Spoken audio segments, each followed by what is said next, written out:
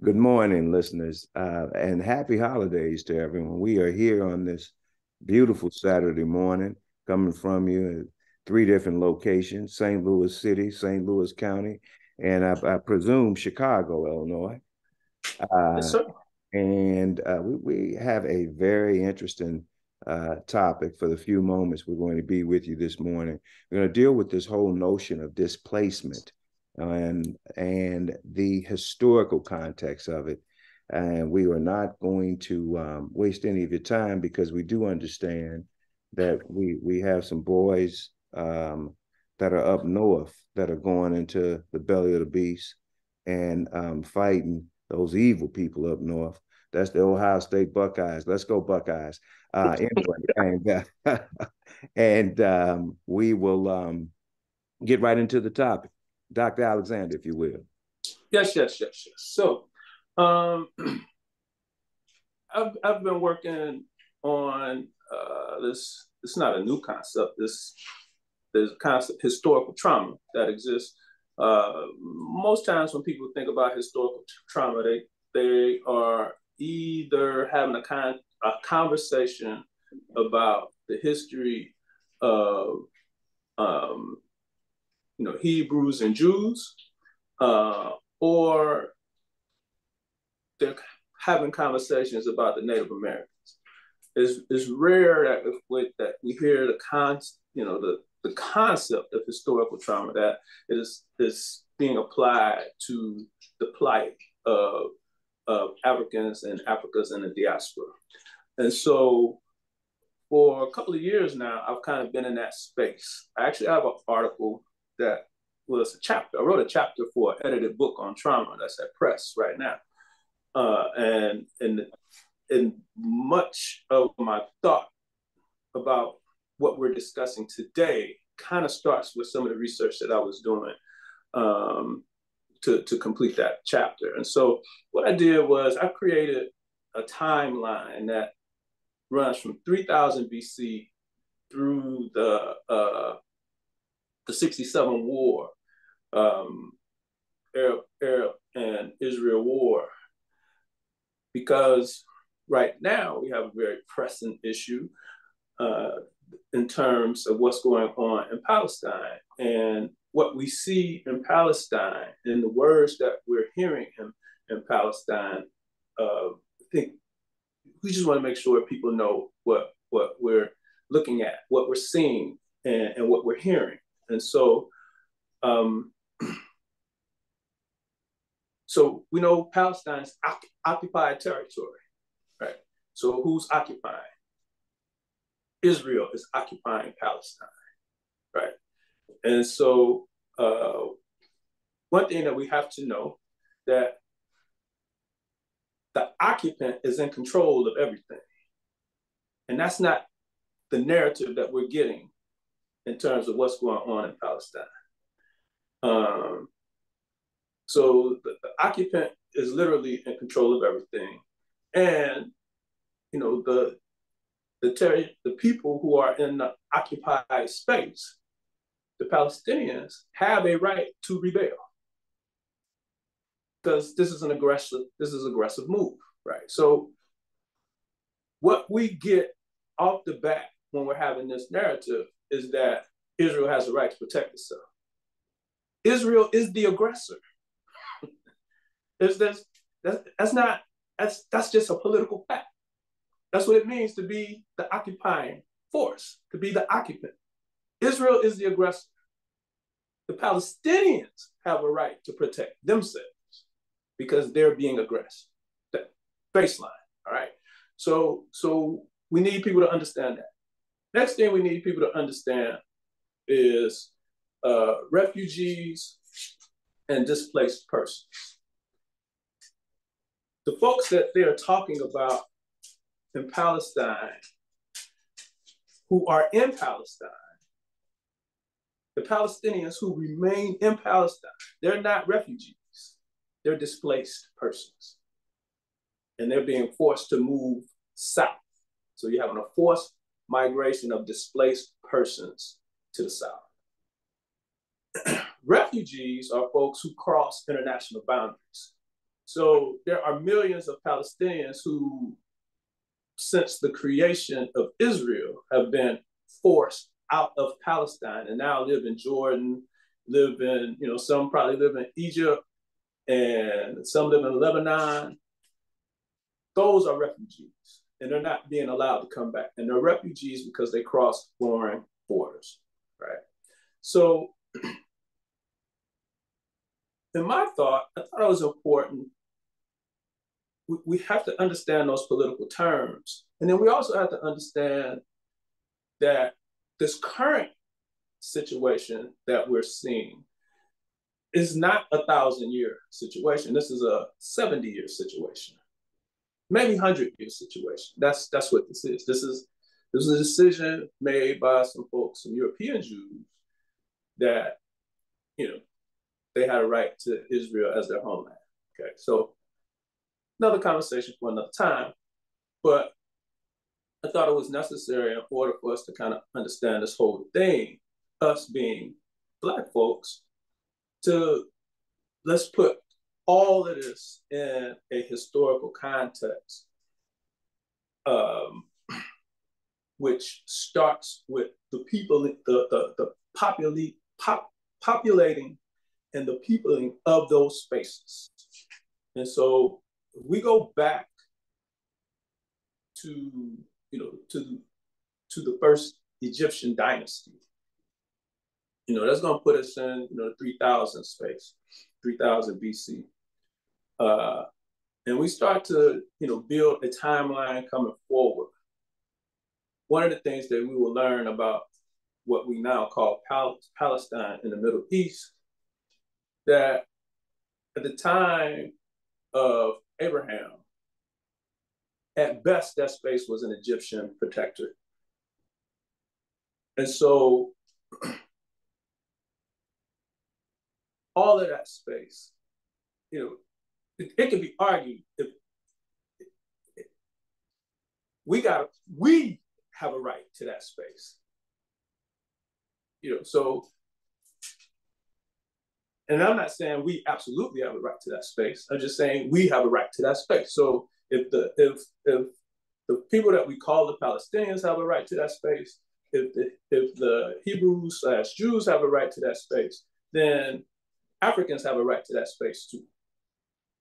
You know, um, because that's what the historical record says, right? And so we were there and what started to happen and what happened to our high cultures, and this, this is another very important piece when we start to look at our historical trauma. I'm in agreement with Dr. Ben, Yosef Ben Jochannan, who says that the that the rush for Africa started in 1675 or 1680 BC. And he uses that date because that's when the Hyksos invaded um, Lower Egypt. And that was the first of many assaults that saw us being pushed from, you know, saw, saw us being pushed from the you know as far north as the Middle East, as far northeast as the Middle East, you know, back into Upper Egypt. So it starts with the Hyksos. And over thousands of years, we had, you know, we had the Hyksos, we had the uh, we had the Assyrians, we had, and so we we had Hyksos like I said, 16, 1675, 1680 BC. Um, we had the Assyrians in 671 BC, the Persians in 523 BC, the Macedonians in 332 BC. When you talk about the Macedonians, you're talking about Alexander the Great. Um, then comes a Roman province in 30 BC. And uh, then the Arabs, the Arabs in 642 AD and that's who runs. That's that's who runs uh, much of the Middle East, and that's who currently occupies much of of Northeast Africa and and you know Libya and and Egypt in particular. And so what happened to the ancient Kemetic people? What happened to the ancient Egyptian people? Forced migration. Right? And so uh, I don't think we could use refugee, you know, in those times because, you know, we didn't have these kind of artificial fixed boundaries as uh, in, in those times that we have now. But we can use forced, forced migration and displacement to describe what occurred. And so, so what actually occurred was we had this, you know, series of conflicts with folks from, again, from from Asia and the Mediterranean and elsewhere in, in, in Europe into Lower Egypt and um, at some points Upper Egypt, which forced us back into the interior. And so um, and for context, in the interior, that we were met similarly to some of the ways um, the United States is dealing with its border um, in terms of um, uh, being very unwanting of those individuals, um, out and out protesting them. If if if, if that is is that a decent context, Doc? That's a that's a decent context. Also, another you know context that that we need to look at it is the native population to the U.S. When Europeans came here, you know, these groups that we think that we now call the you know the Plains Indians and all that kind of stuff. These groups lived up and down the the eastern uh, seaboard, and some of them lived on the Gulf. And pressure and displacement from those places into the interior. You know, the the the Creek, the Cherokee, the Sioux, all those, those are those are northern indigenous nations that were pushed across the US into Indian territory, right? So Oklahoma and all that kind of stuff, the uh, you know what became so it was the the uh, Northwest Territory, which became you know Ohio and Minnesota and Michigan and Indiana and all that kind of stuff. These groups weren't native to those spaces; they were pushed into those spaces. Right. Manifest destiny. we were destined, you know, so, same thing. So, yeah. We were destined so, to yeah. take these so areas. You have manifest destiny, which is what governed the United States, and what you know, you know, when we kind of fast forward, you know, to kind of what's going on in in Palestine, and we're kind of looking at, you know, chosen people, da da da da. So those those concepts kind of correlate in that correlate in that regard. But what I'm encouraging us to contemplate and to consider is that that was happening to us. And so when we look at the biblical narrative and, and we, you know, we we are clear about the movements of the Hebrews, but we're not really clear about the movement of the continental African. Right. And so this this this narrative that I'm proposing and and what I've created is again this this timeline, it's three thousand plus year timeline. Right now is like a five thousand year timeline, and it's a limited document. I got a lot of stuff on it, but it's a lot of stuff I don't have in it that I'm gonna steadily add. But our trauma starts with the forced migration and displacement that was that occurred as a result initially of the assaults on the continuous assaults on ancient Kemet, i.e., uh, Egypt, you know, up to the point of the transatlantic slave trade. So you mean so, before 1619, we had trauma? We had significant trauma. and so um, one of my favorite books, ref, you know, referenced it on here before as uh, The Destruction of Black Civilization by Chancellor Williams. And so one of the things that we do, and we do a very good job of it, but there's some, there's some, you know, can be some adverse implications.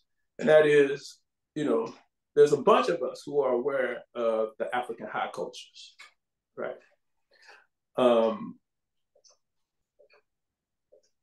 but if they don't exist anymore, the question has to be why? And what happened? And how did the people respond? Now, if we use Chancellor Williams as as a as you know, kind of as an example, the destruction of black civilization that could not have been good. That had to be a traumatic event. Right? Now, when we're looking at when we're looking at what's going on in Palestine and we're watching these people being moved, being told to leave the north and go to the south because they're going to be safe, only to get shelled when they're in the south. That's forced migration. That looks traumatic. This is what was happening to the ancient Kemetic people of forced migration back south. All right, so we were moved out of Egypt back into what is probably the Sudan now. And you have the rise of other kingdoms. And so you had a rise of Kush, um, 10,070 BC, 350 AD. Um, uh, what else you have? You have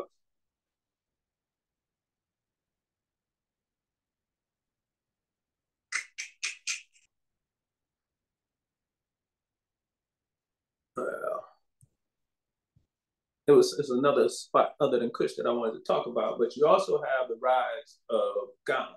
And so Ghana, that as we know it today on the west coast,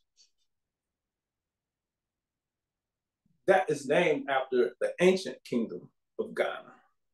And so the ancient kingdom of Ghana was in that area, you know, that we probably call the Sudan. And so it was one of the entities that arose as a result of the pressure, again, from the Mediterranean and, and, and um, Western Asia on Egypt, pushing us back into pushing us back into uh, the interior. And then you had coming direct from our direct east, you know, continue onslaught of pressure from Arabs. And so the Arabs come in and they start to engage with, with Ghana. And what we then see is like three successive nations, you know, over the course of, you know, thousands of years, hundreds of thousands of years. And you have you have the rise and fall of Ghana, you have the rise and fall of Mali, and you have the rise and fall of the Songhai Empire. But as this is occurring, because of this pressure from the east, more displacement, and we're being pushed from the Sudan across the Sahara on, onto the west coast. So by the time we have the rise and fall of the Songhai Empire, we're on the west coast of Africa. Okay. And okay. So, if, if I, I, let let me um if if you don't mind, mm-hmm. um, add some some biblical context to what you've just stated. Yes, um, then we can bring. We certainly, um, Jerryl, we're dealing with the exact same displacement um, now currently in St. Louis City and and and and um, black areas um, throughout the United States. that are, you know, creating similar trauma that, that Doc is, is speaking of. Um, but if uh, uh, go to Genesis 10, it lines up exactly with what you're talking about, Dr. Alexander. Um, and I'm going to read this. Uh, listeners, uh, please bear with me. This is the first time I think I've read a an entire chapter, um, but I don't think I'll need to read the entire chapter of the Bible. But I think this is important for context because uh, one of the issues you you bring up when you talk about the Hebrews being um, being displaced, we need to define Hebrew um, because I think the um, that that umbrella certainly is larger than what it has been described to be uh, in the past historically, uh, particularly since the Zionist period. Um, I think it's been significantly lower during the Zionist period. But I'm reading from Genesis 10, uh, and it states that this is the account of Shem, Ham, and Japheth, Noah's sons, who themselves had sons after the flood. The Japhethites, the sons of Japheth, were Gomer, Magog, Madai, Javan, Tubal, Meshech, and, and Tiras, the sons of Gomer. Pay attention. Ashkenaz, Riphath, and Togarmah, the sons of Javan, Elijah, Tarshish, the Kittites, and the Rodanites.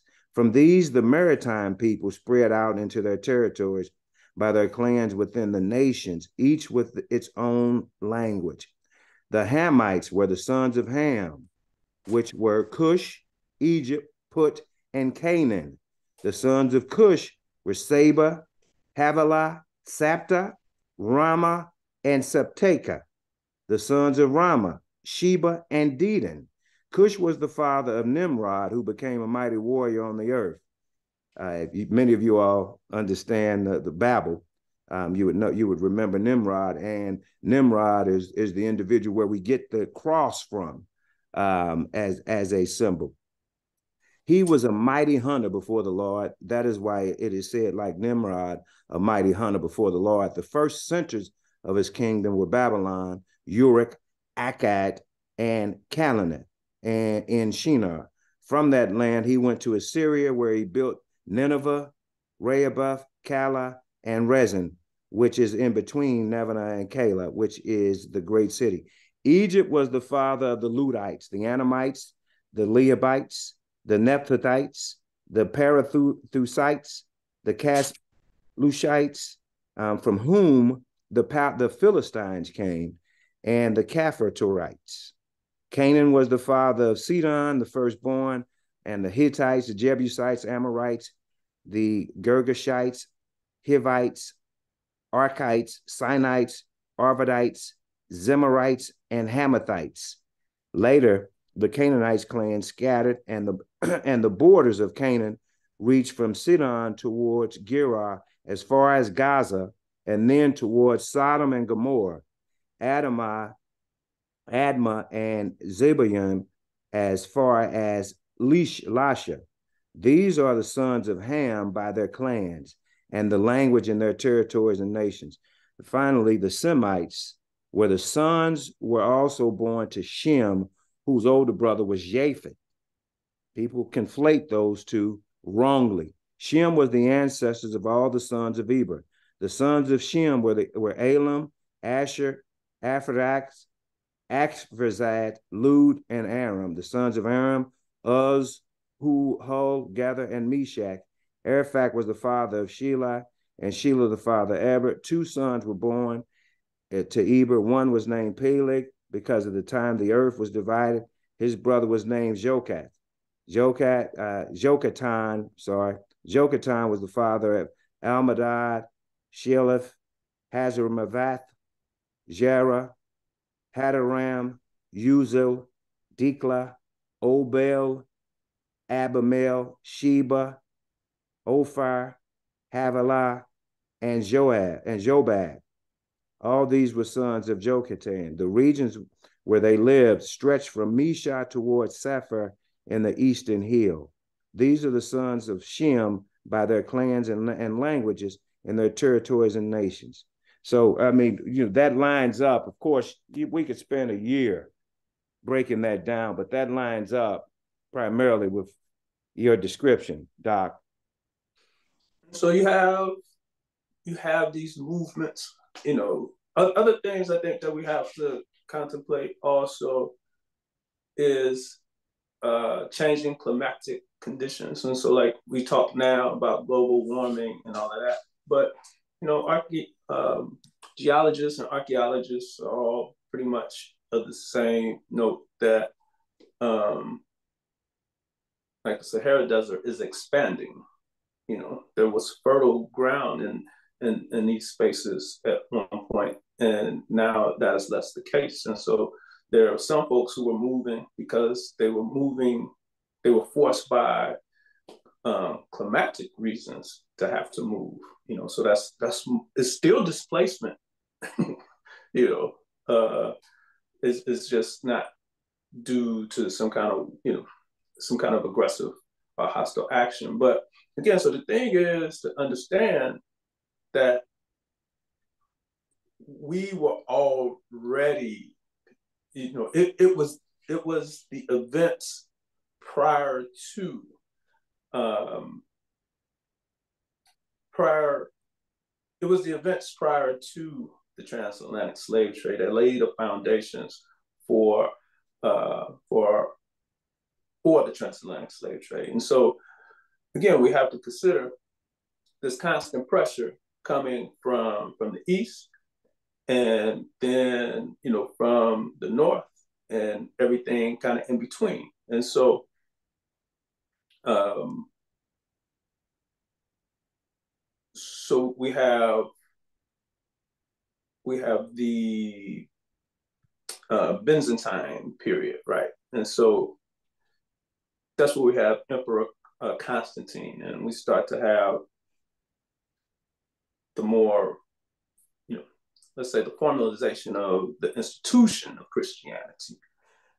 And, you know, so that's that really amounts in terms of what's happening in Africa, you know, in North Africa and in the Mediterranean, uh, what we're seeing in that space is more colonization. All right. And so it's in the context of that you know that that time period from let's say from the, so the Roman period and and the Byzantine period. That's you know that's solidly New Testament. Okay, and so that's that's that's what you're getting in in the New Testament, and um, you know, so we, we know that the you know it's the Roman government that has that has control over uh, what we call the Middle East and what we what we know to be um, Egypt and you know really everything that surrounds the uh, Mediterranean. I think so, Daniel, Daniel, eleven really does a great job of of um, uh, uh, identifying what you just stated as well. I mean, that's where it, you know it says the kings of the south and the north. Um, you know, kings will rise in, in Persia, and then a fourth will be far richer, and so forth. It really describes the Alexander the Great period. Mm-hmm. And so, what's happening again? What we have to think about is when these people are coming in, when they're coming in, if you know, again, we uh, Chancellor Williams as as you know as our point of reference. This is all; these are these are various time frames in the course of the destruction of Black civilization. What do we mean? These invading forces, in as much as they're taking over, you know, physical space, they're and they are displacing people, they are necessarily displacing culture. Right.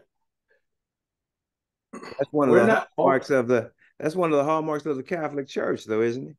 They, the, um, actually, the Roman Catholics um, they would come in and conquer you. They'd implement some of your um, uh, uh, uh, attributes of your culture and and force upon you the vast majority of theirs. Yes, which also is traumatic, right? And so, and so these are the things that are occurring that we don't, you know, even when we have a, an awareness of these things, when we have a, when we have some understanding of, of the history, we don't, we still don't consider these things as traumatic. So we don't, we don't consider the contacts as traumatic, and we don't consider the implications or the results of the contacts to be traumatic. But but do we not consider it traumatic because of the the current trauma that we're under? You know, you don't really get an opportunity to sit back and reflect on this because you are still constantly dealing with the displacement and the destruction of your culture. That is an awesome point, uh, Attorney Christmas, because that is kind of essentially what I think is that we so because when you, I, as I listen to time. all of this, go ahead. Hmm. Go ahead. I was just saying, as I listen to all of it, you think about rarely do we ever get an opportunity to sit down and just have an analysis of all of this as a people or as a whole or even as a group. Well, I have a as a small group. It's so it's, it's all so for me it's all trauma related and as I've said on here many times, when we look at what, you know, kind of some of our faults and some of our shortcomings, it all looks like the trauma response to me. Right. Because we do have opportunities to sit and talk and analyze this, but there are parts of this that I think that we intentionally avoid and deny. Like we have, we have, like so so let's again so let's look at this this Roman and Byzantine period. This period that is clearly New Testament, right? Many of us can't we we can't process that because we think it's sacrilegious. so we're not going to deal with the truth, the historical facts of what occurred in that period of time, because we think we would be questioning the Bible right? We're not going to deal with the historical facts of whatever we think was occurring during the time of Moses because we think we're questioning the Bible, right? And so we have these conversations, at least on a weekly basis, about that space and time. We're just not doing the deep dives because we don't really want to deal with the implications of what we might find. That's a good point. So, so that's and especially when you raise up the, the issue about is, questioning the Bible. Say that again. I said that's a good point, especially when you bring up the issue about questioning the Bible. Yeah, and then and then, and then it's the same for folks who practice Islam, right? And so, you know, the the the the Muslim slave trade lasted longer and is probably much more detrimental than the transatlantic slave trade. It could be argued that the Muslim slave trade is still going on now. You know, if we look at what's going on in the Sudan, for example, that's that's an Islamic issue, right? You know.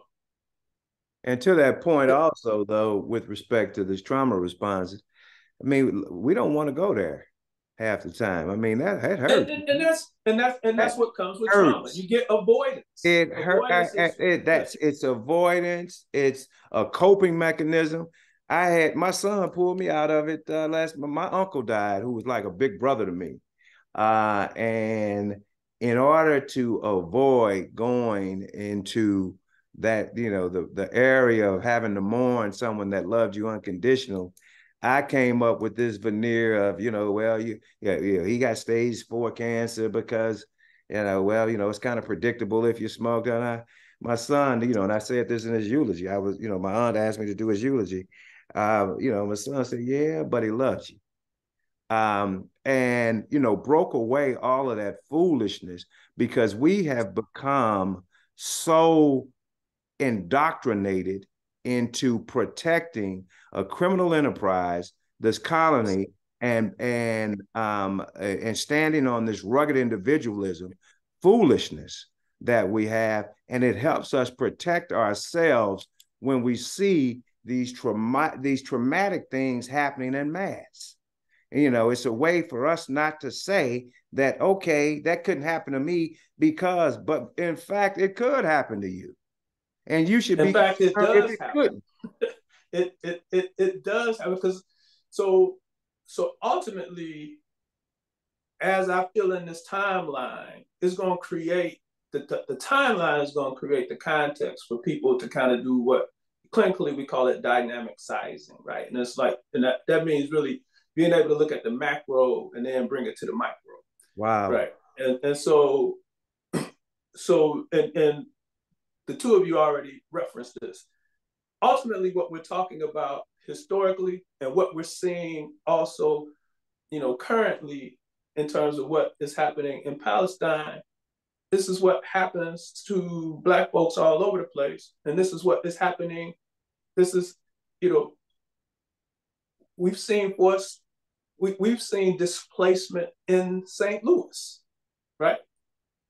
Right. When, when we talk about urban renewal and we're talking about the, the, the US highway system, you know, and, and the fact that we know based on historical record, not, not that we necessarily kept, but that the aggressors kept, that we know that they, you know, we, we're gonna we're gonna cut through this neighborhood, right, to, to build this highway. You know, they talk about the displacement of the black community in St. Louis all the time for yeah. the building of the arch, yes. and and building the other historic black neighborhoods that were in that area that were devastated as a result of that. And uh, since 2021, that, that place that we call Clayton, Clayton, much of Clayton was black. You know, displacement, uh, the that mall over there on, on Brentwood, all of that mall space, much of that, mm. you know, for, for well, you know, actually, when you think about it, we just we just watched it happen in, in, our municipality, Larry University City, because we're what, what, we're the Costco with the Costco and and the other uh structures that have come as a result of that, though we know that those were black neighborhoods. We we have friends that lived in those neighborhoods that uh, went and to family. school with us and so family. Right? This, we know that know, whole area happens under the guise of eminent domain, you know, and things of this nature. But these these these things have always been happening, right? And so, you know, so again, so we go back to you know Ghana, Mali, and Songhai. So in that period of time, we see for whatever reasons, and we kind of know what you know. We know generally those reasons have to do with you know a conquering force that you know Christianity comes. It it takes its toll on African culture. Islam comes, it takes its toll on African culture and people are making decisions about whether to follow you know the you know whether or not they're going to follow islam or christianity based on a relative threat. Now one of the things that when we have when we do have these conversations we have these conversations as if islam and christianity spread because of you know um, the benevolent grace uh, of the folks bringing, it. and that's that's that's just patently false. You know, and so people were changing either because of physical violence or some kind of economic gain. And so we see that very clearly with uh, with Islam, that on the front end, you know, leadership of Ghana, leadership of Mali, they made decisions to start to practice Islam because a it would help to protect, you know, their their eastern flank, but also because it also it it allowed for them to stay engaged, you know, in commerce, right? But it's not really a lot different than what happened. So like in the so like the the uh Europe. yeah. So when we start to get that pressure there from the north, right? We get uh and and the Portuguese, the Portuguese are bringing, you know, they come in with they, they come in with their missionaries and the missionaries lay the foundation and then the missionaries are followed by soldiers. The Mayans say those when you look at your Dr. Alexander, when you look at your timeline as far back as you gone in that timeline, which is some great work. Incredible. And when you look at where we are now, where do you see what's what what do you see based on that we're going to move to next when you look at the situation we're dealing with and the US involvement with um, Russia and Ukraine and then also our uh, dealings with um, Israel and the Palestinians. And then when you think about also Israel and the Palestinians, you think about the support that we provide to the Israeli government. And then also you think about the support I do that we provide to the Palestinians in the US because for us in our community, when I say us, I'm talking about in the black community, it is the Palestinians, the Arabs that are heavily in our community running, in particular, um, the convenience store business, the, the gas stations, the convenience stores, those are all Arabs in our community it appears to me, and I don't have direct evidence, but it appears to me that they receive some type of subsidy from government funds in order to operate the way that they do in our communities. Uh, what what's the future? What where where are we moving towards next based on that timeline? So can I, can I just say this real quick to the listeners? The question that is just posed is the reason why history is important. History tells you how you got to where you are. It's not a museum. Go ahead, Doc.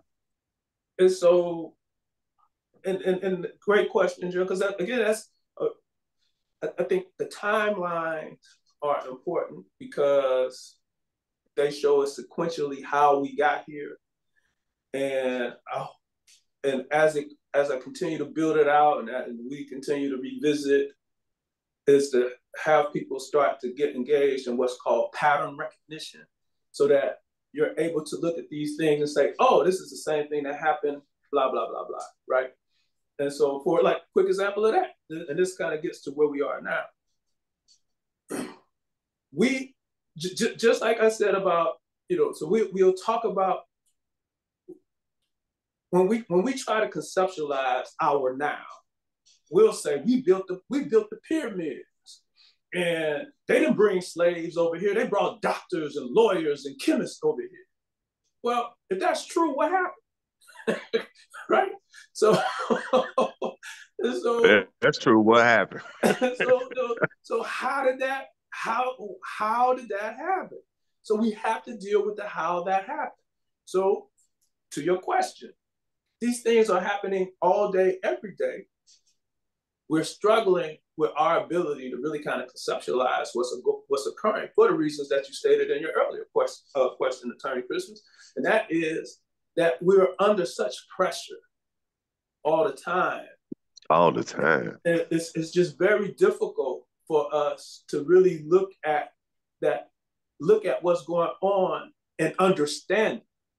We we see it, but we don't necessarily. I, I was having a conversation with one of my mentors last night, and he was like, "We don't have the ego strength to be able to tolerate the truth, which just means that it's really re-traumatizing for us to deal with, you know, the historical facts. If Egypt it's better, great, it's better for us to deal in fantasy than in reality. That's that's our maladaptive response. Our maladaptive right. response is a flight, right? So, mm-hmm. and so, great, great example.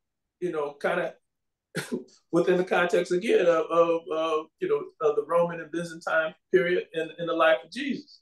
Jesus is a revolutionary, right?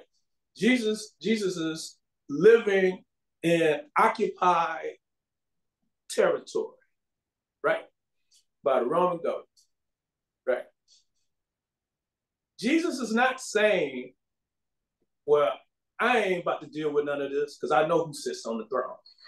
That's, that's not what Jesus did. Mm-hmm. Right?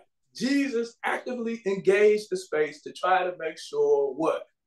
That the last will be first and the first shall be last, right? And you know, and that you know the least of these got what, what, what they want. But that's not what we have going on now. We have folks saying now, you calling Jesus' name to be passive you know, in the midst of this constant onslaught. And so I thought about that as soon as you said say, it. Hmm, say that again. I just thought about that as soon as you said Jesus being a revolutionary, and I just it, it hit me right off that very seldom do you even hear that anymore. There was a time when you did hear that, but mm-hmm. I can't remember the last time that Jesus was characterized as a revolutionary. Great book for people to read. Um, uh, called Jesus and the Disinherited by Howard Thurman. Uh, very, very good dive into you know what what the what the life of Christ you know you know was and is, and uh, and is done so in the context of him being a second class citizen living in occupied you know Palestine. That's do you ever do the audio books? I love audiobooks. I love Okay. Yeah. I think that's what I'm gonna start doing the audiobooks. I feel like I'm cheating though if I do the audiobooks. No, you're not cheating, and it, it allows you to okay. move and get done other things. You ain't really got to stop a whole lot of stuff. You can keep mm. kind of doing what you're doing and do your audiobooks. Particularly, I mean, for me, I do it while I'm doing my walks, so and, and I do it while I'm driving. So it's, it's a great, great thing. And, I, and and what I found I enjoy even more is to do an audio book after I've read a book. Okay. I read a book and then I get then I do that that same book on the audio. Oh man, it's just so much more rich. So it's pretty great. But that's the that's a great book. Um uh it's another book I'll think of before we get off here, I think. Um, but so because you got to make we, a list. Yeah, yeah, yeah. So we we we kind of struggle because it is traumatic. And so we say these things, but we don't necessarily deal with the implications. So if we talk about, I get I give you another example of like distancing. And and I think we referenced this more recently too, because like, when's the last time somebody from St. Louis said to you, man, the St. Louis, the East St. Louis massacre was terrible? What they're more likely to say to you is they blew up Black Wall Street in Tulsa. Right. Right. Well, Gerald and I talked about the East St. Louis massacre this morning. Right. And, and but and that's fine. But most people don't.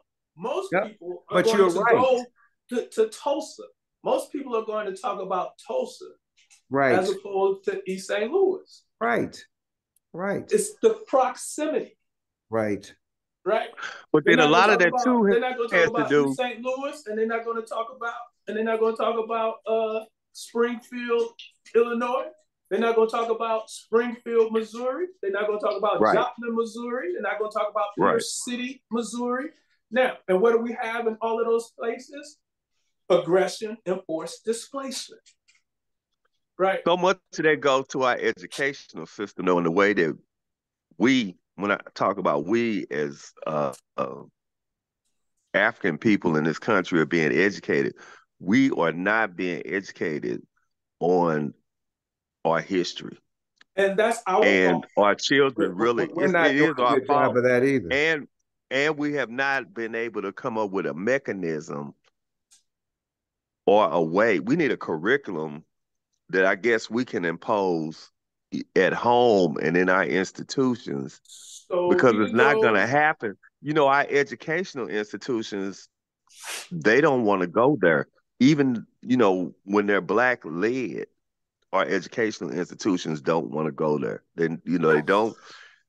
Even when we have a, a you know a overwhelming majority black district, when I say overwhelming, I'm like 80, 90 percent, they still will not want to teach them about who they are.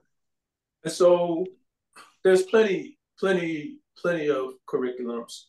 Um, one, you know, one like real easy thing is you can go to, uh, to uh, Howard Zinn. He has, you know, there's a just tremendous amount of information there. Um, uh, Equal Justice Initiative, tremendous amount of information there.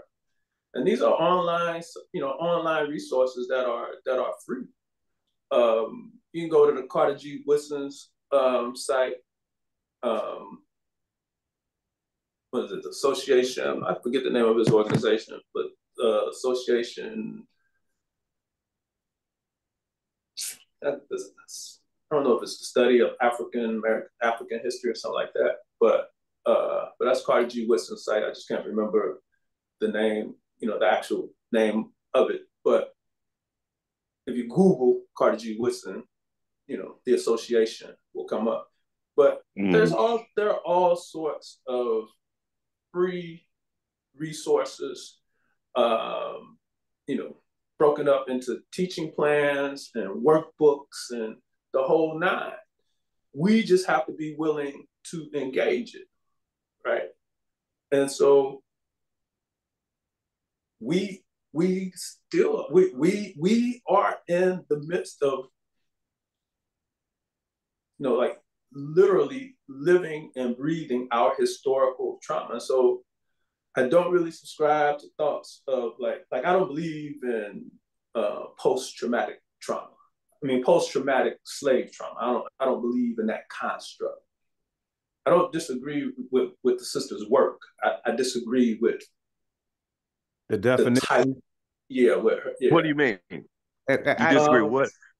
With with so, post traumatic slave syndrome, it's an incredible. No, I heard book. him say that. What part of it? What part of it? Okay, so, so, so when did when did that trauma start? When did it start? Oh. And when did it stop? And and when did it stop? so when did it start and when did it stop? And so that's, that's that is so, a fair. It's not even a critique. It's a fair defining of it. Yeah, you can even call it a critique what you're stating is a a, a fair extension of it. Yeah, so I just I just don't like the title. I understand. And so and and the title gets to be problematic, particularly you know for those who actually want to have a conversation. It's very easy to get sidetracked by the enemy because the enemy is going to start talking to you about, you know, so well, it's gonna say the same thing. It's gonna like, well, so when did it start and stop? and then you get baffled with that. Because then you can't, it does not adequately address whatever occurs from emancipation forward. And you know, again, she, you know, she tries to address that in her writings, but it doesn't work for the title. You, you, right? you know, because uh, so what? Because when you say post, that suggests that this is subsequent to whatever the trauma was. That's what that means. So it can't then read forward. So those things that occurred after emancipation cannot fall under the same rubric. If that makes sense to you, term.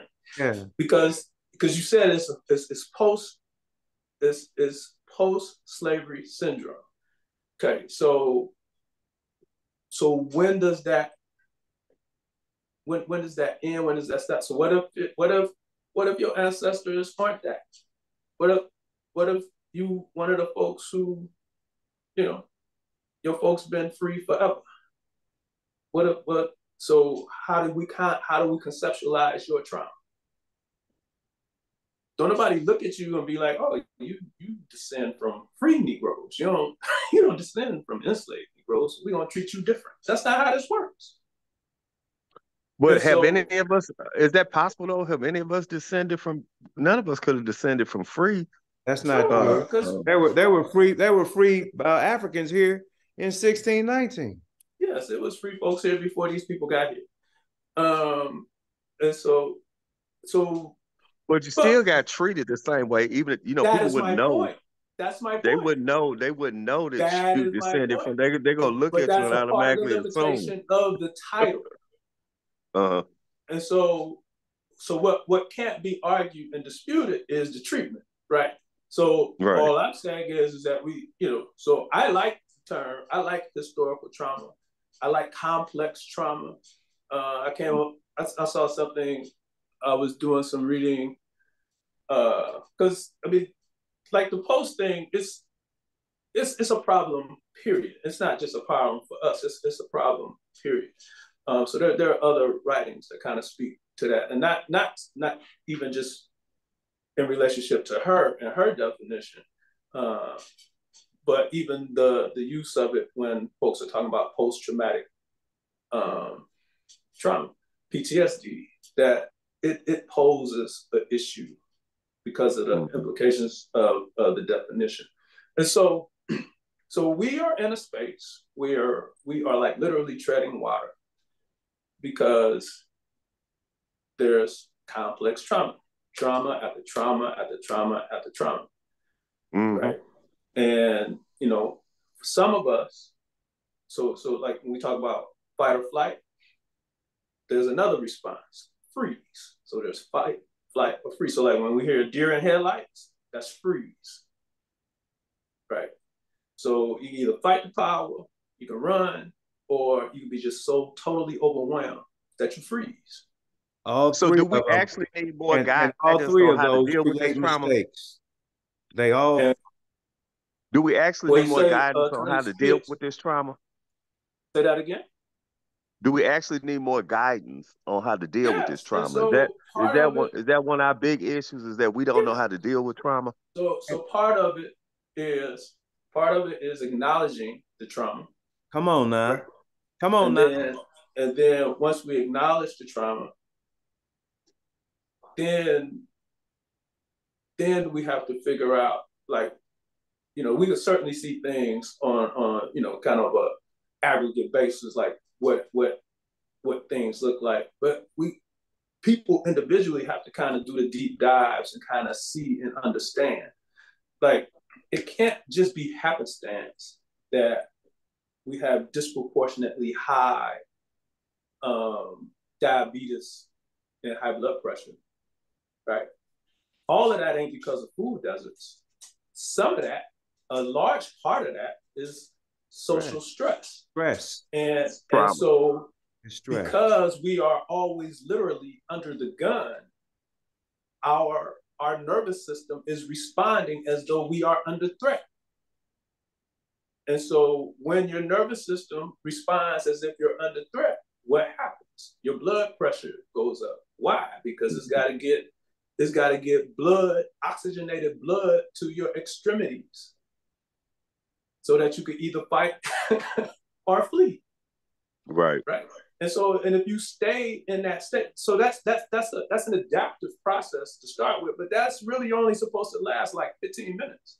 Yeah, but we live like that. We but live we like live like that. And so you right. live in a state where your body is is like is preparing for the worst. And so that becomes a way of living. All right. So so so how does that relate to high blood pressure and diabetes? Okay, so we we said what how it relates to high blood pressure is that your body has to ramp up because it either has to fight or. Well, then how does that relate to diabetes, Dr. Alexander? Well, your body needs energy in order to ramp up and to sustain itself long enough to manage the threat. So, how does it get that energy? It creates sugars. And so, in theory, there's actually a real threat, and your body produces enough of that sugar in order to help you to manage that threat. And then it it all happens in one fell swoop. You get alerted. Your body produces that energy that it needs to to uh, uh, to avert threat, and then it burns that energy, and then eventually you go you relax. That's that's what's supposed to happen. But if you're stuck in that space, your body keeps producing sugar, right? And then that sugar that doesn't get burned turns to fat. You know the the the you know, so that's that's the like, short. That's the that's the that's the annotated. Short, yeah. You know, well, story I mean, that. But so these are things that that that happen. You know these you know so our bodies get compromised because of the amount of stress that we live under because it causes our adaptive systems to run afoul. So the other thing is your body's running, cycling at that high level. You get exhausted, right? You get tired, starts to cut the, you know, your body's your body is producing, you know, these these hormones, these stress hormones, cortisol and um, and adrenaline and all that kind of stuff. That's wearing out your bowels.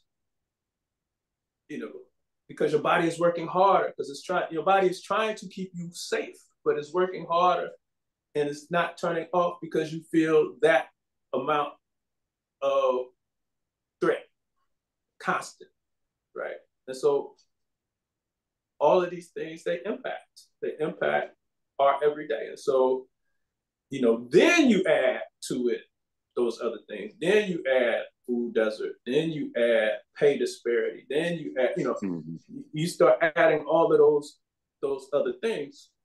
Police know, brutality and everything. Police yeah. brutality. You know, you add all of these other things, and and you see that that's that's that's kind of what we're looking at, and that's how your body is responding, and that's how we end up physically sick and and, emotionally sick and mentally sick. All all of that, all of those things together. But it kind of to your question, how do we get through this? Is that we we we have to look more critically at the historical piece, be able to chart our progression we have to learn that you know our our um, you know our pride in whatever the best of it was is fine, but it has to be tempered by by you know the subsequent events, right? And so, if we were great, what happened? And why is it that we can't, you know, why is it that we either can't recreate it or why is it that we can't protect what we have? Why are we still vulnerable? So again, you know, the the the, the easy answer is okay, there's white supremacy. So we know that. But how is it that we don't have and that's not just that's that's everywhere. we we don't we, we ain't put up the firewall we we know what this looks like. At least we should. Enough of us do. So how do we put up the firewalls? That's kind of where we are. Is trying to figure that part out. Like, well, so, you know, it's hard for us to figure out how to put up the firewalls because we are too busy trying to assimilate. And it, so, you know, when you try, to assimilate it, when you try to assimilate, you don't have firewalls on your agenda. So there's a great deal of confusion, right? Because it's confusion, exactly. Some, right? Because some folks are, you know, some folks have assimilated, some folks are assimilating, you know. So like, what does this stuff mean, right? So all of that, all of that, all of that comes with, you know, with its relative burden, you know, and so we have to continue to do the work to to define what is, you know. Um, but again, we this there's the, the threat is going to be. I mean, when we look at Palestine, we we many of us aren't saying to ourselves that we live in occupied territory now. Like many of us don't recognize that every U.S. city has a perimeter. So in Chicago, we got 294. In St. Louis, you got 270. In Atlanta, you got uh, what is it? Two? What is it? 285 in Atlanta. 285. 285. Now in Atlanta, they call it exactly what it is. It's the perimeter. Perimeter Mall. Right. and so right, right out there by Perimeter Mall. And so, so in Atlanta, they call it the perimeter wall. Where do the majority of black folks live? Inside the perimeter. That's right. If something were to go down, all they got to do is shut down the perimeter. Nothing gets in or nothing gets out. That's Palestine. In St. Louis, all they got to do is shut down 270 and 155. Nothing gets in or out of St. Louis or East St. Louis. Right? Now, those of us who live outside the perimeter, you know, so like in Chicago, it's 294. And so you got 294, and then you got the then you got the uh, you got the you got the lake, right? So you the majority of black population lives inside 294. So if they shut it down, nothing gets in, nothing gets out. Those of us who live outside of the perimeter, we live in the West Bank. We actually live in Israel, still, you know, still under this external threat. So we don't we don't even we don't process it this, we don't process it like. But that is, in fact, the case. This entire notion of displacement is occurring in droves in the United States, and we are not processing it. St. Louis City, and on its own, since 2021, has lost 56,000 Black families. So, when, City, the only place that has more displacements of black folks in the United States is LA. And so like here, you know, so when they went down and they knocked down uh, the projects, the housing developments, you know, on the State Street corridor, where did those people go? Right? Now, some of them, some of them, you know, just moved further south. Um, some of them left the state. You know, um, they, you know, some of them went to Indiana, you know, so but that's displacement, right? And so and and and and we need to, you know, when we say displacement, I think we need to have right behind it the, the, the traumatic experience associated with displacement. Well, that's the thing again that's, is that we. Yeah. So even when we see these things occurring, we don't. We're not processing the trauma. Again, that's what I'm saying we can talk about high cultures, but we don't then talk about what happened that resulted in transatlantic slave trade, right? And so, like,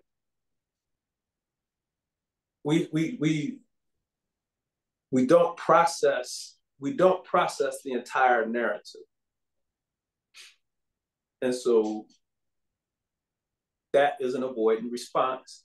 I think that is indicative of our trauma, and that these these things that are overwhelming, um, we we avoid. Now, that is an adaptive process at a level. I mean, because you know, again, that's that's the mind's attempt to hold it together for you to be okay. But that's supposed to be like a short. That's a short term response to an immediate right? It's, it's trying to get you to hold it together so that you can, you know, get to where you got to get to so you can get safe again. Once you get to safety, you're supposed to look at and reevaluate the previous threat so that the next time that you can, or next time you are confronted by that threat, you have a reasonable response. And that's not the we're not we're not getting to that part.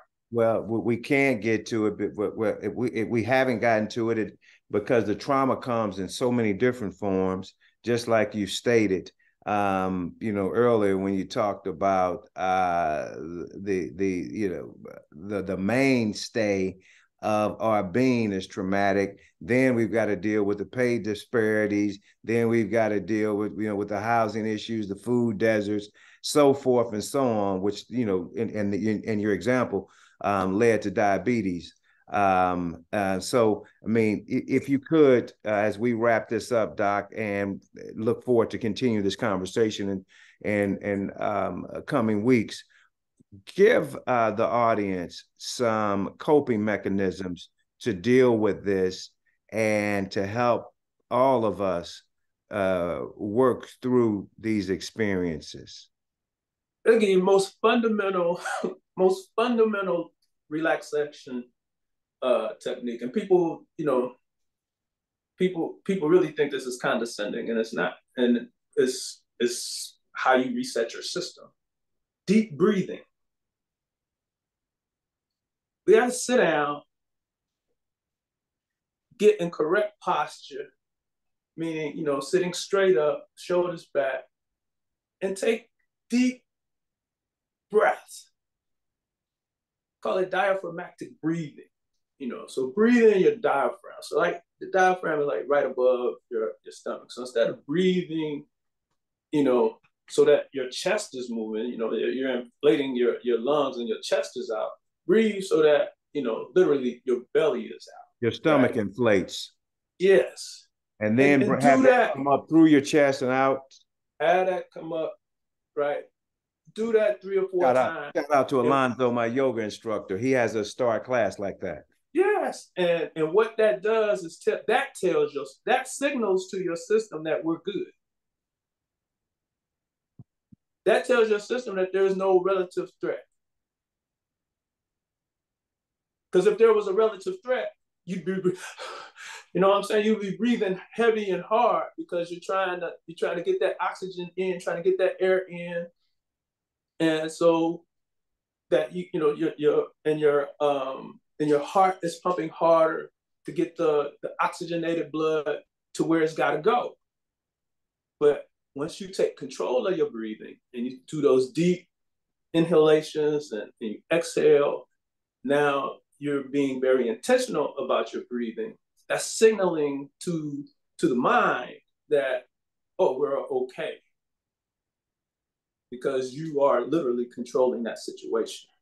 And, and that's what we have to do just at various times throughout the day. We just gotta, you know, take a break, couple of minutes, you know, get your get your feet flat. You know, you can put your hands on your thighs, you know, or you can put your hands in your lap, sit back, hold your head straight, and just breathe. Earlier, you, know? you talked about being able to identify the threat and acknowledging that it's a threat. I, and I mm-hmm. don't want to uh, come up with any colloquialisms, um, but I have heard other people, you know, your colleagues state that being able to um, identify the threat or, or name it, if you can name it, you can tame it. So, in other words, if you can name the fact that I'm stressed out right now, you can then begin to address it. Yeah, because then you can kind of prioritize. Like some people, like some people who experience anxiety, right? A lot of times they're anxious about what could be. It doesn't actually exist. They're just anxious about what could be. So a lot of times, you know, I tell folks that I work with who are experiencing anxiety, I tell them to do what we just did, you know, do that breathing piece. And um, after that first round of breathing, you know, kind of look around and, you know, is there anything in your immediate environment that is a risk, that is a threat to you? No. Do some more breathing. So if there's nothing around you that's a threat to you, what is it that you're responding to? And so then they have to start to think about it, right? Um, and it might be that they realize that there's really nothing that's posing an immediate threat to me. And, you know, whatever is a burden, I could probably figure out how to address it. Um, but right now, I am actually relatively safe. Breathe some more. And once you get to that point, you know, you can then start, you know, calming yourself down. You can then start to kind of prioritize are there things that I really need to get, you know, that I really need to address? Okay, yeah, okay. So of those things that I need to address, and I encourage people to start with, you know, easy things, you know, literally easy things, because we need to, we got to build up, you know, some confidence, right? So if we can get some easy wins on the board, we need that, you know. So things that we can, that you know, that we could, we could change, you know, with minimal effort, let's say. And then you just you have to literally start to, you know, do your problem solving and all of that. and so what what can come with all of that, with the breathing, with the you know, kind of with the room scans and then the larger kind of, you know, you know, ideational scans, like what's going on around me and all that kind of stuff. You really kind of get yourself into the practice of mindfulness. Right. And so we hear about that too all the time as a as an intervention. And I think people get scared, but really all it is is being present in the moment. That's what it means.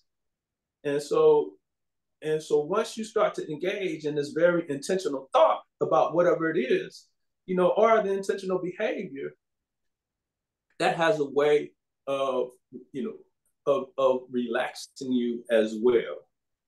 Um, because again, it's, it's telling your body that I got this, I'm in control of this moment.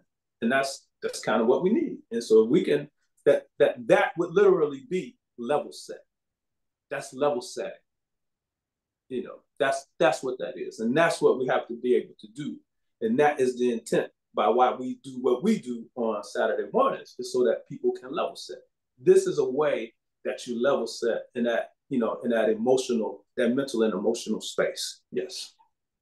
Wow, I don't think that uh, we could have written a better summary had we um, had it edited a hundred times. Um, so just to summarize, we we uh the show you went back um to uh you know in history so we can realize where we are and deal with that then you know um went back to identify the fact that we're you know some of these uh, a number of these things are traumatic and and we need to at least understand where we are in dealing with the trauma we're either going to deal with it we're going to fight flight or freeze um, uh, um, and we gave everyone coping mechanisms on how to deal with it effectively. The first one is deep breathing. Second one was naming it. And most importantly, and this gets me every time, is being mindful and staying in the moment. You cannot accomplish very much being before or after where you are. Uh, and and that that that that is prevalent in life that is prevalent in sports. Worst thing in the world I can do is uh, is to is is to pull up on the seventh uh, tee box and think about the shot that I got to hit on number nine. I can guarantee you I will not be successful, and that happens in life and it happens in sport as well. So, uh, Dr. Alexander, yes. I could not thank you more.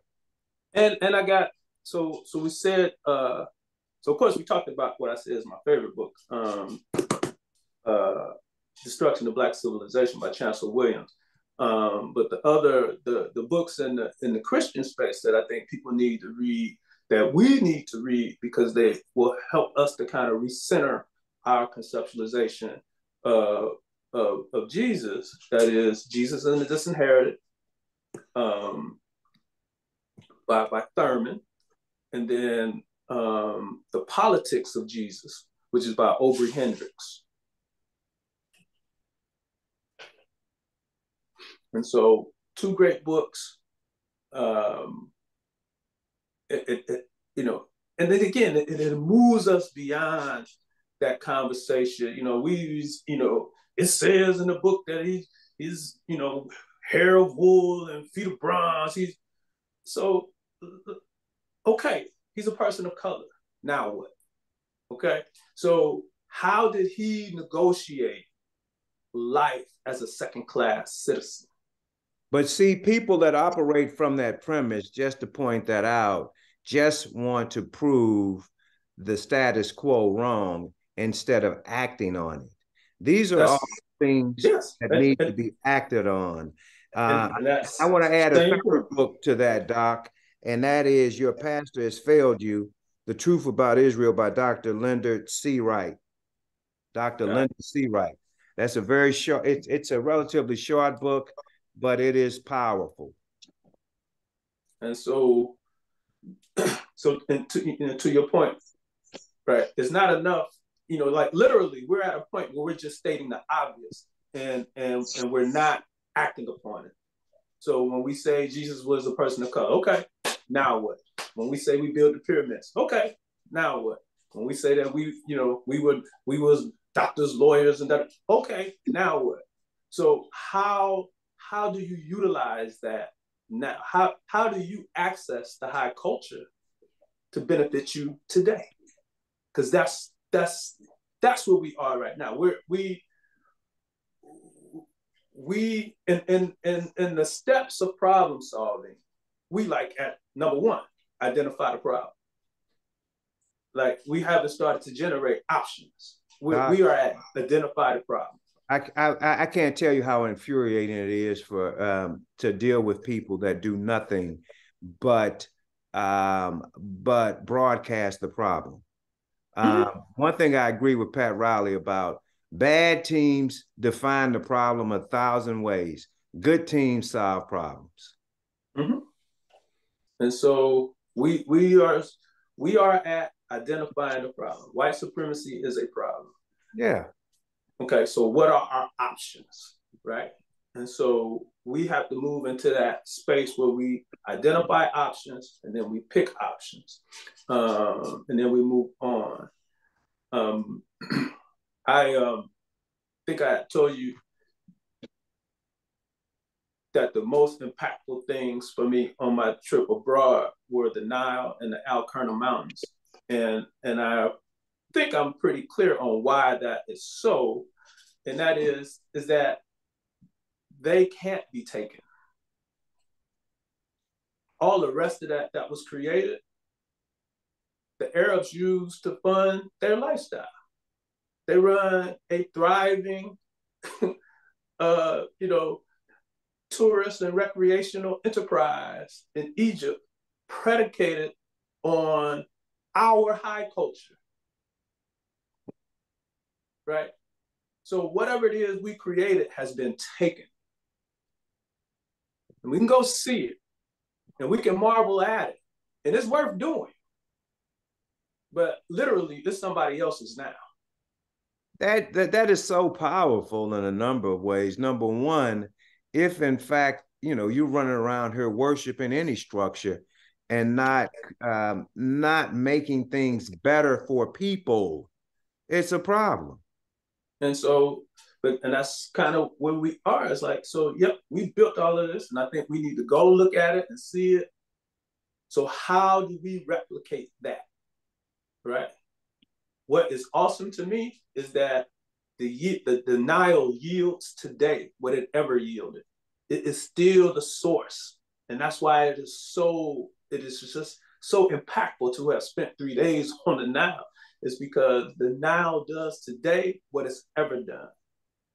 And that is that is the nat that is the essence of you know the natural powers that exist, you know, in creation, right? And so Alcarna Mountain, same thing. They just they they are, and they they cannot be disturbed, right? They could be corrupted, but they can't be, you know, they you can't take them, right?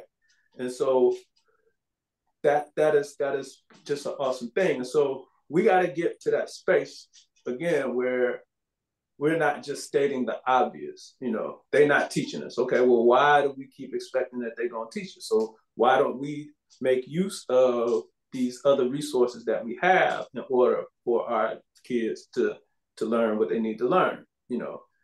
Uh, but again, we'll state the obvious. We'll be like, oh, the Asians, they got Saturday school. Okay, so then why we ain't got Saturday school? We got Sunday school, so why don't we use Sunday school different? Right? So mm-hmm. I know you all do some, you know, some uh, kind of innovative things in the context of, you know, of your church, your church family. Y'all got it. Y'all got how many gardens y'all got? Y'all got at least one garden. I'm sure y'all got several uh, gardens. Several you know, gardens. So y'all, y'all got gardens. Y'all do seven uh, classes during the week.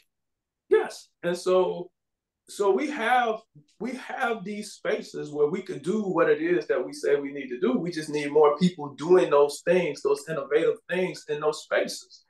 And the, if we continue to do those things, that will help us to withstand the onslaught. And Jerryl does an incredible job. I I see from the outside, looking over his shoulder, of merging the gap between family.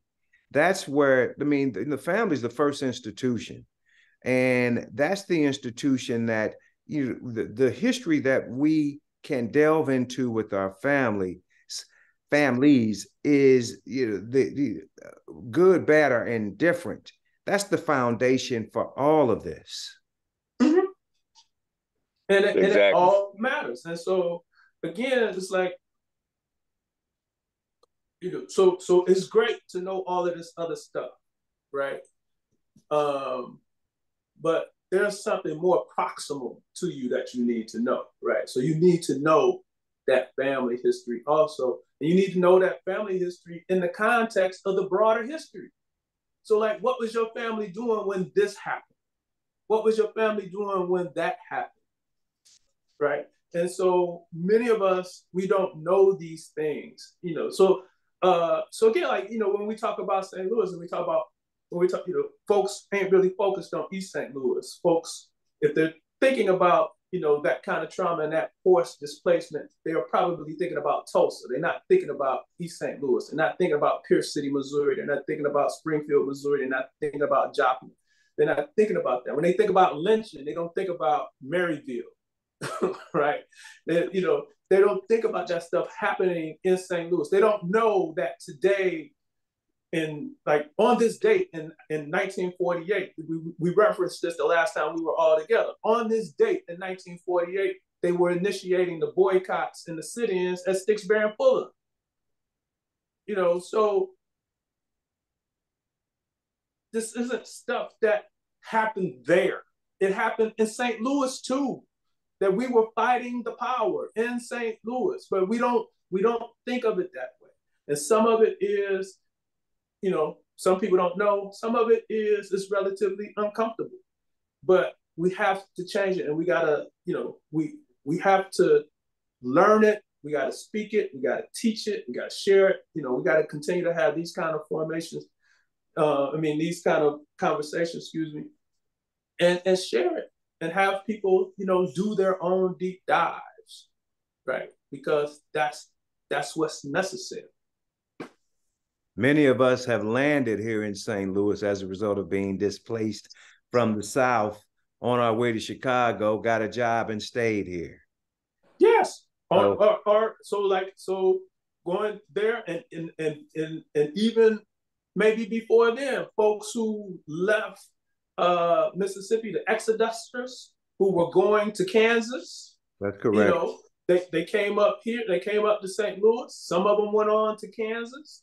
Some of them stayed here, displaced. Like, but like we don't think of the great migrations as displacement. As displacement. All of those people weren't, you know, some of those people were fleeing. That's correct. Right. And so we have to we have to start to look at these things in such a way. And and we and we have these things going on in cities every day. We don't think about it when we, you know, when we get when you're sitting in your home and you see that there's tornadoes all over the place, you're not really thinking about displacement. And when we're talking about natural disasters in particular, the people who are most vulnerable in the wake of a natural disaster are the people who were more vulnerable before the natural disaster occurred. Right? So our vulnerable populations are more vulnerable in the midst of a natural disaster. What are we doing? Like, who who cares about those people who live along the, the riverfront, other than that they think it's a bad look for tourists who come in to to go to games at the stadiums. Nobody cares about those people when it's cold. Nobody cares about those people when the Mississippi River rises the Mississippi River, the rising of the Mississippi is an existential threat for those people, right? Nobody cares when it's 100 degrees for those people. I'm sure St. Louis is the same as Chicago. Contrary to popular belief, more people die in Chicago because of heat-related death than they do because of the cold. I'm sure I'm sure that St. Louis is the same way. So who's thinking about those vulnerable populations? And so these these are just the ways that we have to start to reshape the way that we think and the way that we, we experience these things because the patterns exist. And so the issue is, can we look at the patterns? This is pattern recognition. This is one of the um, intellectual skills that I measure when I'm doing psychological testing, pattern recognition. So can we look at these these things in our environments, our present environment, or, or can we view in a historical context and garner life lessons that help us to literally survive?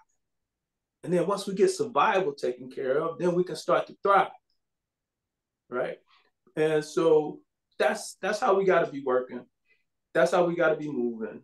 But it really it really requires that we engage the information because the information is there, and you know we got to move on beyond they're not teaching us because that's not what enemies do. On that note, need to read this uh, history like Rondo read film. Let it be known that I am him. Uh, Dr. Dr. Alexander, that was incredible. Thank you so much. Jerryl Christmas, Attorney Jerryl Christmas, you always do your thing, and it's a pleasure to see you at all thank times. You, sir. Thank um, thank you guys. Happy holidays. And if it's the Lord's will, we look forward to getting together again next week.